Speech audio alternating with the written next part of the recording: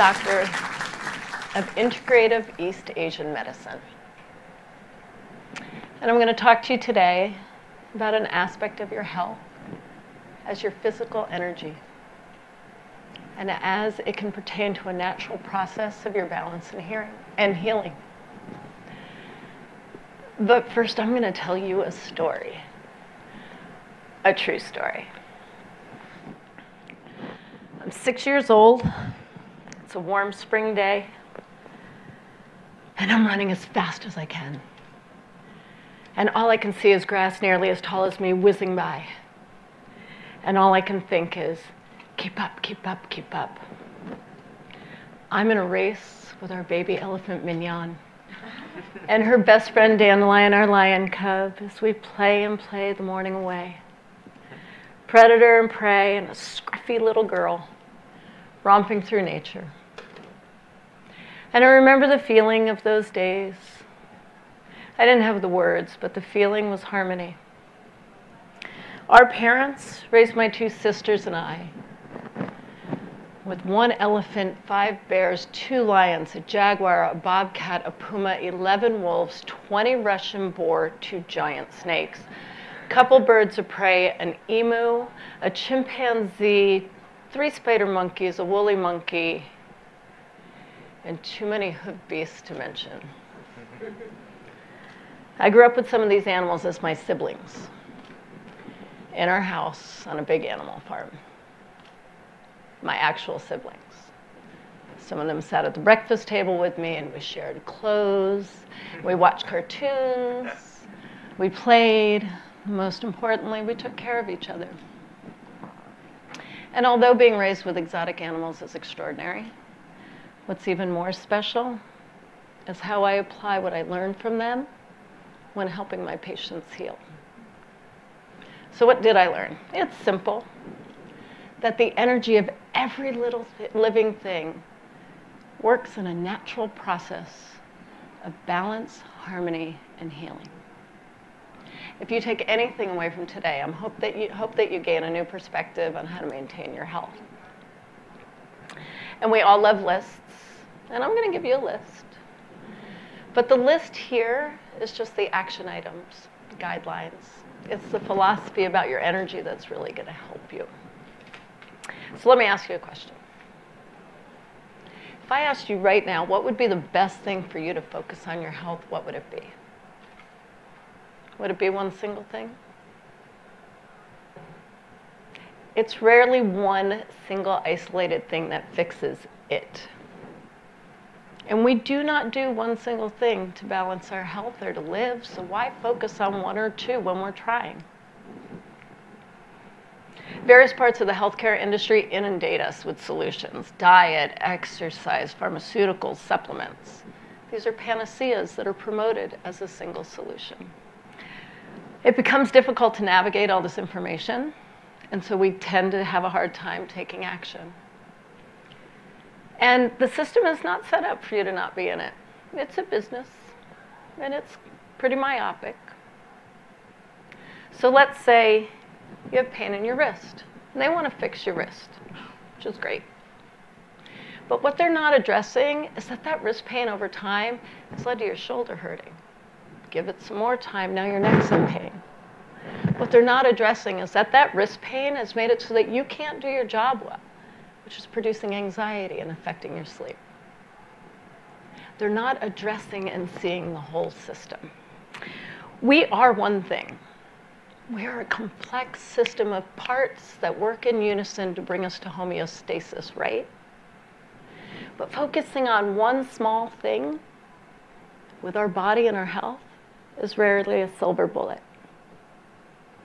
Of course, we have to address pain and illness head on, and I am not disputing that. But addressing the entire chain of our health as we move through time and space seems like an impossible task. And I'm here to tell you it's not. So now we're going to get to the heart of what I want to discuss. I want to propose to you that your physical energy is the base of all your health. I want to tell you where your energy comes from, and I want to tell you how to optimize it on a daily basis. But I also want to present to you the notion that when your physical health is maintained well, it has a lot to do with the strength of, strength of your immune system and also our vulnerability to disease. So it all boils down to this our energy, how we spend it, and how we build it. I came to East Asian medicine in a really peculiar way. My little sister was graduating from high school and she didn't know what she wanted to do. She told me she liked to work with her hands. So I set up an appointment at an acupuncture school so that we could speak to the dean. She fell asleep in like eight minutes.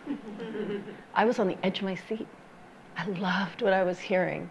I'd never even had acupuncture before, so logically, I applied and got into grad school. And here's what I learned more than 30 years ago from a 4,000 year old medicine. We have two different kinds of energy prenatal and postnatal. Prenatal energy is the energy we're all born with, and it's finite. When we use it up, we all die. It includes genetics, but it's not only genetics. It is responsible for our growth and development and our aging and decline. We have to tap into it occasionally for some life events like childbirth or recovering from surgery or serious illness or appropriate limbic system responses to a threat like fight, flight, freeze.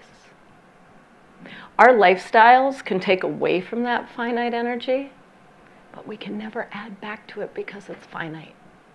And then we have postnatal energy. This is infinite. This is the energy that we use every day for living, and we can replenish it endlessly. It requires our active participation.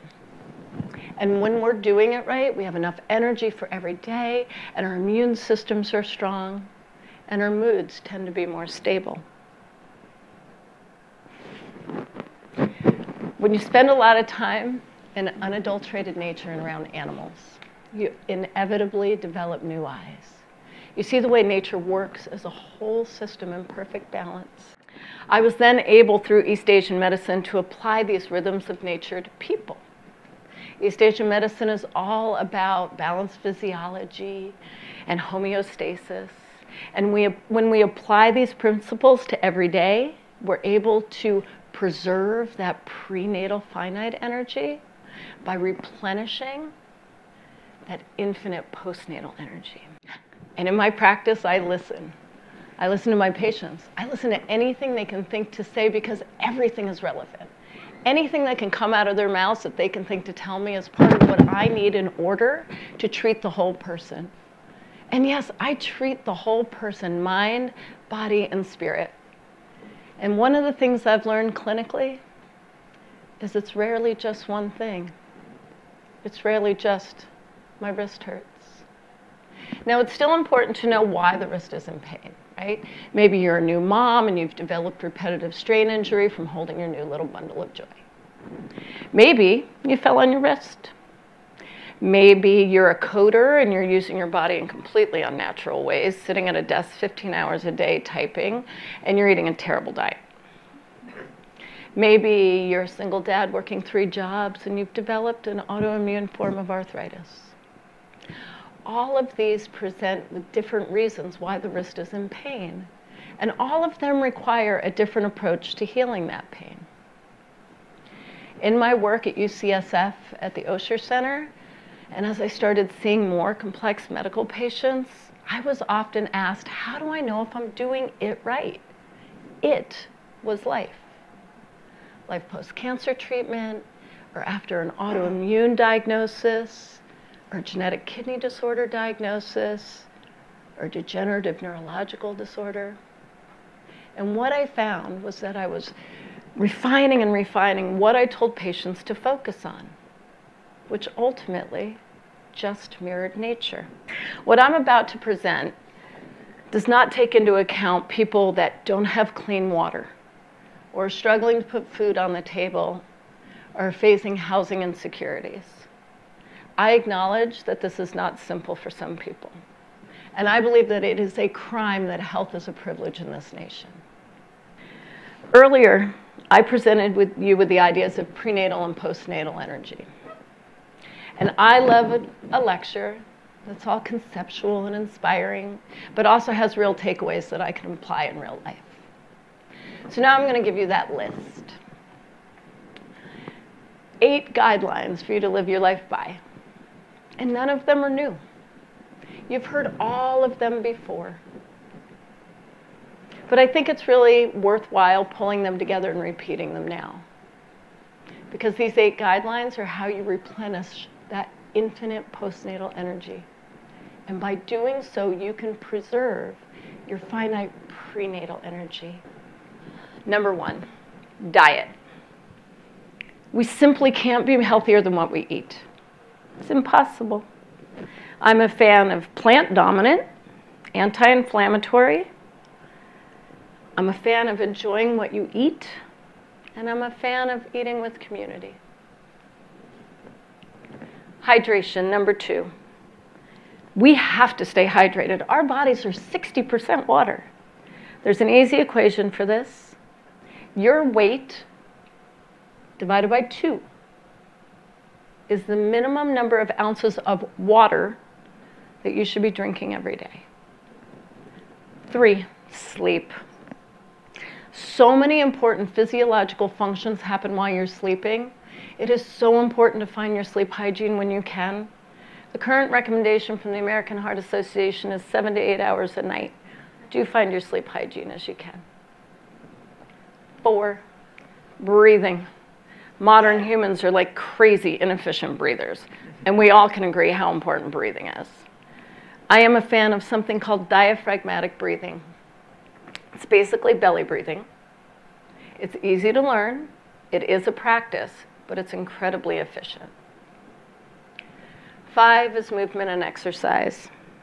The current recommendation is 150 minutes a week of elevated heart rate. Elevated heart rate is the key here. If you're going through cancer treatment and walking to the bathroom elevates your heart rate, that's part of your 150 minutes. Figure out where you are in the system of 150 minutes of elevated heart rate, but do yourself a favor. Remember, anything that makes you exhausted afterwards is too much. That's not making you stronger. Six, bowel movements. It is really important to not hold on to anything that's slated as waste and to not lose nutrients faster than our body can absorb the nutrients. I find what's most helpful is to tell people what's normal.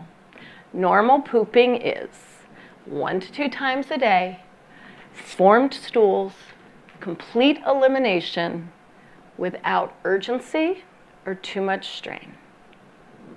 Number seven, joy, my favorite one. Finding joy every day is actually one of the most incredible things you can do for your body's immune system. Finding joy includes gratitude, but it also encompasses play and laughter and ease and presence and fulfillment and flexibility. And last but not least, and probably the hardest, number eight, not embodying stress. This is not a statement about don't be stressed. We all experience stress. This is a statement about choosing what stressors are true threats that call for you to have a physiological response. A true threat is going to be different for every individual. But an example of a stressor that doesn't need to be embodied, a deadline. You're not going to die if you don't meet a deadline. If you need a starter point, I'm a big fan of Mindfulness Based Stress Reduction by Jon Kabat-Zinn. There's a perfect, natural, virtuous system that we simply need to tap into. Ignore it, and we're detracting from that prenatal finite energy. Do your best with the eight principles, and you are feeding into that infinitely replenishable postnatal energy. So, how do we know if we're doing it right? We're doing it right when we have enough energy to live through every day. When we are pushing through repeatedly, it is a sign that something's wrong. It's a sign that we're taking a loan that can't be repaid. The loan comes from your prenatal finite energy. And no one should be living in a state of constantly borrowing stress or energy. our society expects it, and our industries require it. For some of us, we are not valued unless we are abiding by this culture of work stress. Or we can't pay our bills unless we're deteriorating our health trying. Or both. We really need to work to reform a system that's requiring us to live like this. If we apply these eight principles, we can avoid this system that's making us sick and promoting degenerative disease, chronic illness. Doing so just puts us right back into the system. Applying the eight principles as best you can keeps us healthier, boosts our immune system, reduces chronic illness, and in my opinion is your best one of the best helping hands you have in avoiding recurrence of illness. So how do we do it? Let's recap. We eat well, we hydrate, we sleep, we breathe, we move, we poop well, we find our joy, and we do our best to not embody stress as we worked to reform a system that's requiring us to live in this state. Now let's recap for fun. These eight things are the good stuff. These eight things should be everyone's basic human right. These eight things should not be things that need to be checked off a list. Like eating well actually helps you feel better. And drinking water is refreshing. And when we take a deep breath, we feel relief. And what's better than a good night's sleep? If you don't believe that it can be as simple as following these basic rules of nature, I'll leave you with one more story that might help you remember. I was recently in Africa on safari to witness animals in their natural environment. As we drove through Kenya and Tanzania, I was struck by nature's raw balance. How brutal nature can be, but how well balanced it is when it's just left alone. Predator and prey living in side by side in total calm harmony, and it's only disturbed when a predator gets hungry. I watched closely as the animals took care of themselves, and it took me back to my childhood and our animals because they all take care of themselves in the same way. And what do they do? They eat, they drink, they sleep, they breathe, they move, they poop, they play, and they do not embody stress any longer than it takes to stay alive in a moment. As a clinician who works with patients that are seeking immediate, seeking immediate help to their current health issues, I offer my healing experience and my philosophy recognizing them as stopgaps in a system that desperately needs reform. Limited, but still helpful in keeping us alive and a little bit stronger.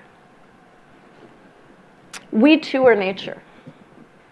And just like the animals, we can return back to our basics, and in doing so, we preserve ourselves.